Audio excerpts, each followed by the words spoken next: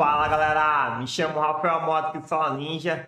Cara, no vídeo de hoje eu vou te mostrar como recuperar o acesso ao seu painel administrativo do WordPress. Então, pô Rafa, perdi o usuário, perdi a senha, não tenho, por exemplo, mais um e-mail de recuperação, ou então tô falando com um cliente aqui, ele já tem o WordPress instalado na hospedagem dele, só que ele esqueceu o usuário, esqueceu a senha, cara, eu tô com dificuldade para conseguir acessar. Então, desde que você vai ser a primeira vez, ou desde que você já tenha um usuário e senha, mas esqueceu esse usuário e essa senha para estar aí o painel administrativo do WordPress, eu vou te mostrar nesse vídeo alguns métodos que é possível você recuperar esse usuário e recuperar essa senha e de fato aí ter acesso ao painel administrativo do WordPress. Bem simples, bem tranquilo, tá? Então esse vídeo vai ser bem completo porque eu vou te mostrar várias maneiras diferentes aí de você conseguir recuperar essas informações para conseguir acessar o WordPress, desenvolver o site, loja e assim por diante. Beleza? Velho, se você curte esse tipo de vídeo, você gosta, já faz o seguinte, galera, esmaga o dedo no like, se inscreve no canal para continuar acompanhando os novos vídeos aqui no canal, a gente sempre fala aqui sobre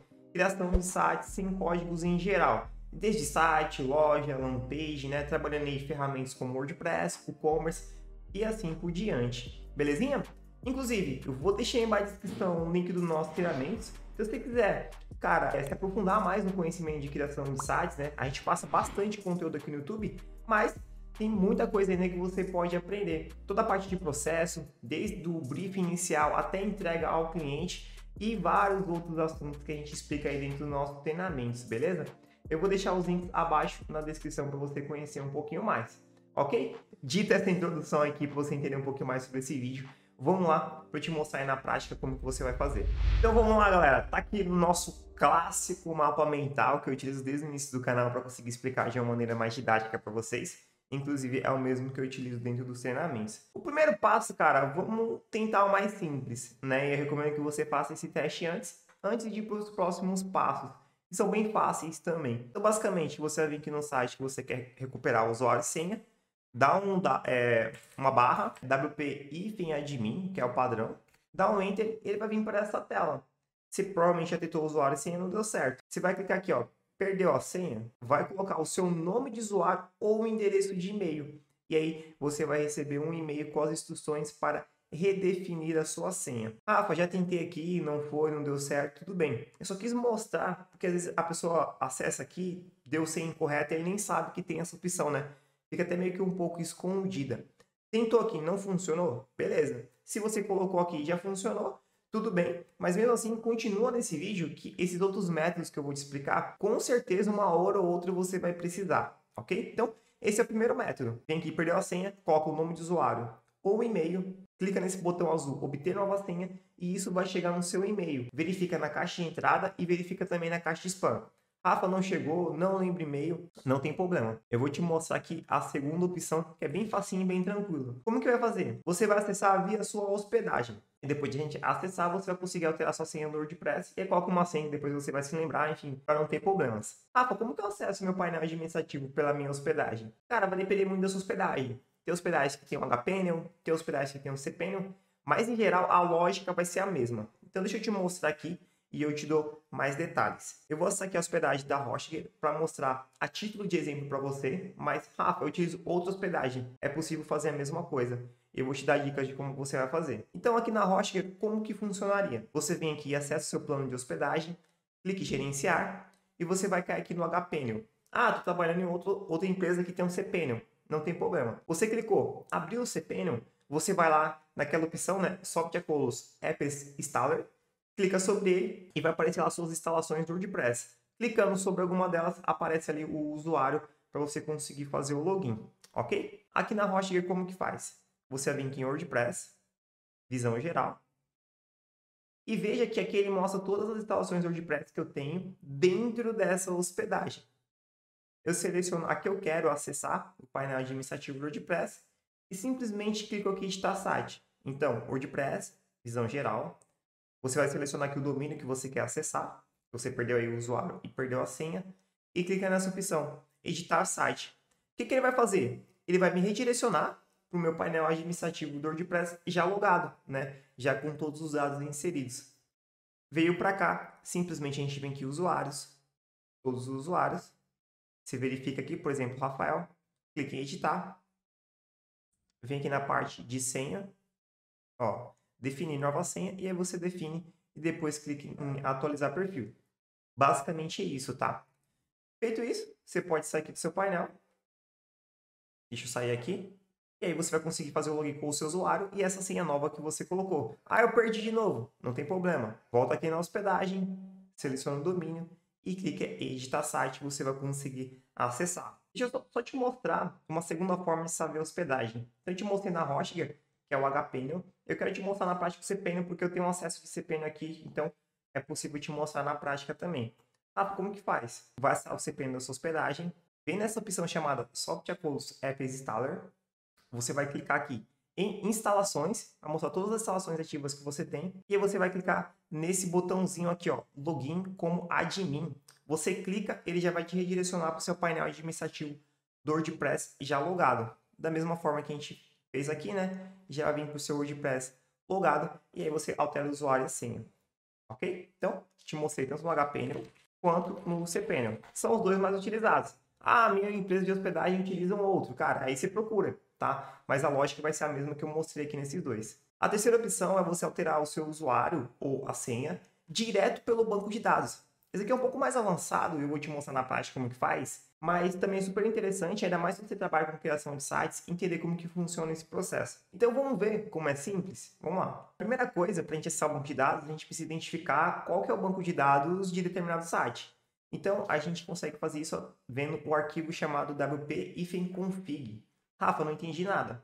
Veja na prática como que funciona. Vou vir aqui na minha hospedagem. Na minha hospedagem, vou vir na parte de banco de dados, gerenciamento. Uh, na verdade, aqui, ó, PHP mais de mim. Beleza. Aqui, veja que ele está aparecendo vários bancos de dados. Você viu que aqui no painel WordPress eu estou com vários subdomínios? Cada subdomínio desse tem uma instalação do WordPress dentro dele. E cada um gera um banco de dados diferente. Ou seja, se eu venho aqui na parte do banco de dados, PHP mais de mim, ele vai mostrar todos esses bancos de dados aqui, ó. Aí, pô, como que eu vou saber qual que é o banco de dados do site X? Qual que é o banco de dados do site Y? Indo dentro do WP Config. Então, vamos ver como que funciona? Você vai vir aqui na parte de arquivos, gerenciador de arquivos. Vem aqui, acessar arquivos do seu site. Ele vai te redirecionar para essa tela aqui. Então, mais uma vez, ah, não peguei, Rafa. Arquivos, gerenciador de arquivos, seleciona. Ah, tem uma minha hospedagem é CPNO. Você vai encontrar a parte de arquivos também, tá? É só você procurar que você encontra. Clica aqui na pastinha de pública HTML. E aí eu estou querendo o domínio raiz, que é o domínio principal. Logo, eu não preciso acessar nenhuma subpasta. Esse daqui significa academia.umeudomínio.com. Esse aqui, área de membros.umeudomínio.com. Essas pastinhas aqui são todas subdomínios. Como eu quero o domínio raiz, eu simplesmente venho aqui no arquivo inicial, chamado wp-config. Se você quiser acessar o banco de dados de um subdomínio, você acessa aqui o seu subdomínio, e aí vem no arquivo wp-config dele. Ó. Cadê? Aqui é wp-config. Como eu quero do domínio principal, que é esse domíniozinho aqui, eu venho aqui na pasta raiz mesmo, public HTML, e aí eu procuro o wp-config. Se dá uma procurada, ele aparece aqui. Você pode dar dois cliques. E aí, o que a gente quer descobrir aqui? A gente quer descobrir logo essa primeira linha. Tá vendo esse define da é, WB name, né? Isso aqui significa banco de dados, o nome do banco de dados. Veja que ele está dando esse nome todo estranho aqui, não tem problema. A gente pode copiar esse nome, né? Volta agora aqui na parte do banco de dados, PHP mim. Você vem aqui na parte, nessa abinha de pesquisar e cola. Ele aparece aqui, né, o banco de dados tal. E aí você pode ver, né, dando Ctrl F, por exemplo, que é exatamente o mesmo nome que a gente copiou aqui. Inclusive esse DB user, ele mostra aqui também, ó, esse segundo número. E você consegue identificar, pô, esse é o banco de dados desse site. Feito isso, identificado o banco de dados, agora simplesmente a gente pode vir aqui em entrar no PHP Aqui vai aparecer todas as tabelas do banco de dados. Você vai precisar acessar vai ser essa daqui, ó, WP Users. Vai mostrar todos os usuários aqui desse site. Nesse caso, eu tenho um usuário que é o Rafael. E aí, vamos supor que eu queira é, alterar a senha dele. Perdi acesso ao WordPress, eu quero entrar aqui e alterar a senha dele para eu conseguir acessar de fato o WordPress. Eu venho aqui em editar. Aqui está a senha, né? Aqui é um código. Então, como que eu faço para ajustar esse código? Eu tenho que vir aqui e alterar essa opção para MD5. Para ele se comunicar com a senha aqui, né? O caractere que eu vou digitar. Então, verifica se você coloca essa opção. Se você não colocar, não vai funcionar. então, seleciona aqui MD5 e aqui você altera sua senha. Então, por exemplo, testando... Sim, enfim, com essa senha doida aqui. Meu nome de usuário é Rafael. Eu poderia alterar aqui também, caso eu queira. Eu vou deixar assim mesmo. Aqui tem um e-mail. Pô, Rafa, quero alterar o e-mail. Pode alterar aqui o e-mail do usuário, né? Tem outros campos aqui que você consegue ajustar. Falando que a gente está procurando aqui é o user pass, que significa senha, né? Password, senha. Então, MD5 altera. Vem aqui agora no nosso canto inferior direito, clique executar. Perfeito, ele alterou a senha. Rafa, tá mostrando esse código aqui todo doido. Não tem problema, porque ele muda aqui a linguagem de comunicação é, da senha, tá? Mas a senha que você vai entrar é exatamente essa aqui que a gente acabou de colocar. Pode ficar tranquilo. Por isso que a gente coloca o MD5 para que o que a gente colocar aqui, quando a gente digitar no painel do WordPress, ele aceite esses caracteres. Feito isso, você vai aqui no seu site, deixa eu só dar uma atualizada na página, vou colocar aqui o meu nome de usuário e essa senha nova que eu defini. Vem aqui acessar, já está funcionando perfeitamente. E aí, caso eu queira ajustar a senha, posso vir aqui em usuários, perfil, né, e ajustar a senha. Ou então, você pode, caso você queira, pode sempre vir aqui direto no seu uh, banco de dados e ajustar por aqui. Pode ajustar e-mail, ajustar usuário, né? Enfim, ah, tô com dificuldade para trocar o e-mail do meu, é, do meu usuário aqui, né? Tem muita gente que vem aqui, por exemplo, configurações, geral. Ah, não tô, eu tô com dificuldade para alterar esse e-mail. Você pode vir aqui no banco de dados e alterar o e-mail por aqui também. É uma maneira até mais simples de você fazer essa alteração de e-mail. Então, em relação à recuperação de senha, galera, você vai utilizar esses três métodos. Então, o primeiro não funcionou, cara, no segundo você já consegue. Ou então, pelo terceiro, é, um dos três vai funcionar, tá? E aí, galera, o que vocês acharam? Cara, vocês curtiram? Te ajudou? Conseguiu resolver o problema aí de acesso do seu WordPress?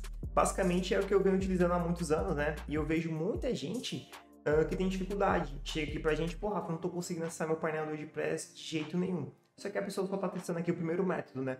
Às vezes não sabe que consegue acessar via hospedagem, não sabe que consegue alterar ali o usuário direto pelo banco de dados para que consiga alterar a senha e aí ter acesso novamente ao painel do WordPress. Então, quando tem um cliente que ele não sabe o acesso, eu faço alguma dessas opções aqui, eu sempre consigo recuperar e não tenho nenhum tipo de problema.